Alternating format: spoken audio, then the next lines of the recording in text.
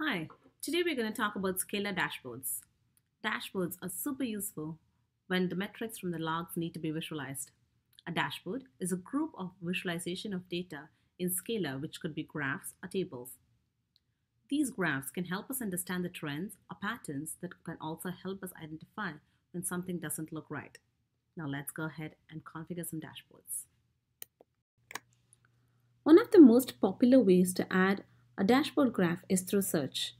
For instance, if I want to filter for my access log, I can then search for access log. We can expand this into a graph.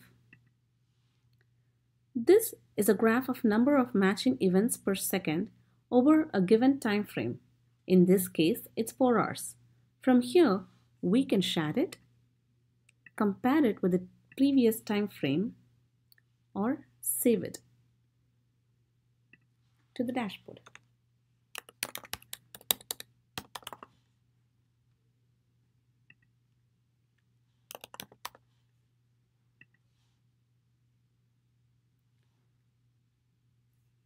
You can then go to the dashboard and view the graph. For this demo, I have few app servers that are experiencing latency spike. Let's see if we can use a graph to pinpoint the source of this latency spike. Do you see the column on the left? These are called facets. Facets are parsed attributes from the log lines that are ingested or server attributes that are defined on the agents. These values are dynamically displayed. As you narrow down for a search parameter here, these facets are changed based on the log line selected. I could select one app server if I knew which one was causing the spike. If not, I could select all the app servers by because this is a latency issue, let's look at the time facet and then look at the graph values. The graph value button only appears because it's a numeric field. If you observe, this graph value shows the average response time value. This is in contrast to the previous graph, which showed the average number of matches. Let's go ahead and save this graph to our demo dashboard.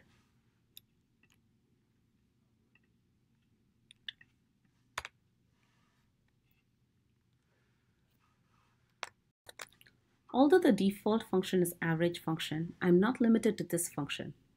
Here are a number of other functions like minimum, maximum, and percentile. Percentile graphs are more sensitive depiction of slow performance. They give a better sense of outliers that may get lost in the average. Let's select 90th percentile and 99th percentile and then add it to our dashboard.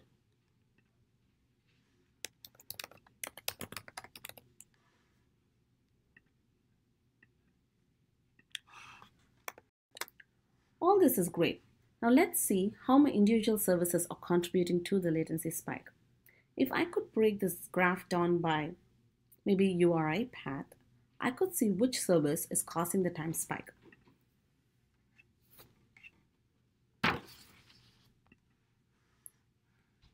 I see here the app friends URI is hugely contributing to my periodic latency spike. While profile and home are generally slower than the other URIs, the graph makes it clear that the latency spike is coming from my friends URI. Now let's go ahead and save this to the dashboard.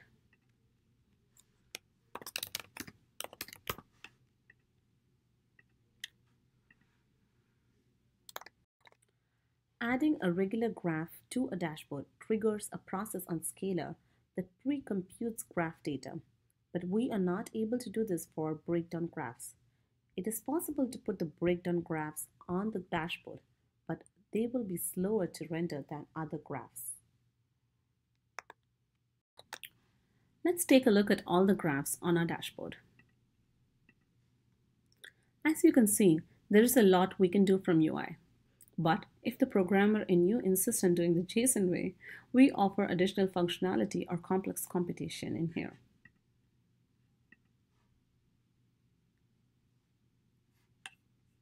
Here's the first access log that we added,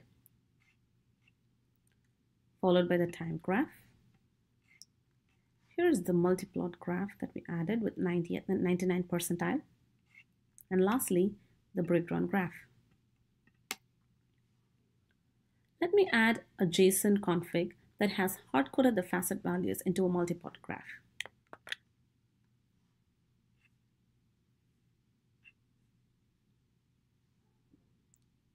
So this is no longer a breakdown graph, which means we can pre-calculate and render values more quickly.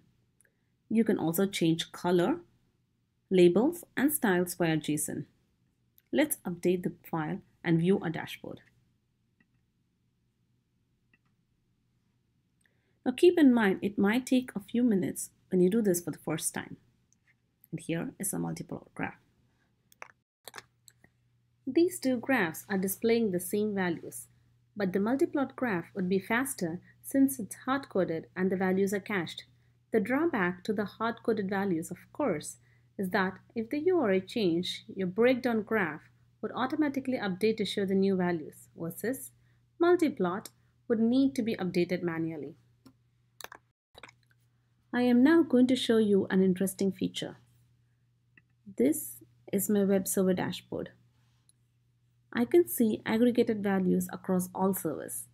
But if I click here, I can instead see per server values for each graph. We accomplish this via, via dashboard parameters. Dashboard parameters are simple mechanism for using a single dashboard to view multiple datasets. Let's get into a JSON config to have a better understanding. You can define parameters in this section here then use them in the graph. For instance, name host parameter is defined at the top here along with a special parameter server host queue, which allows us to change the values of host from aggregate to any server that came through the log lines in the past 24 hours. This host field corresponds to the hash host hash in each of the dashboard sections below. When a user selects a different value for the host dashboard parameter, we conduct a new search and replace the hash host hash with the value that the user has selected.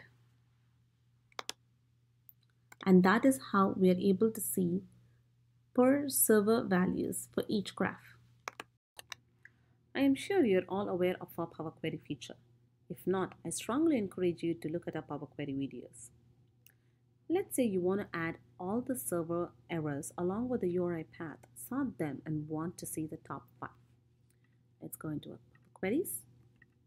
Let's give the query, run it. Now you can add this to your dashboard and monitor the changes.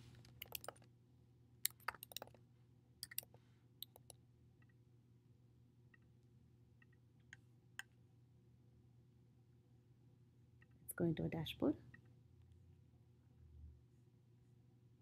You see it. Now that we have a complete understanding of the Scalyr dashboard, if you want to keep a dashboard open permanently, perhaps on a wall-mounted display, click the View Full Screen. Then, click the three-lined icon here and select the appropriate values. Now, nothing can escape your eyes. Feel free to leave a comment or if you have any questions or concerns, you can reach us at support at scalyr.com. Thank you.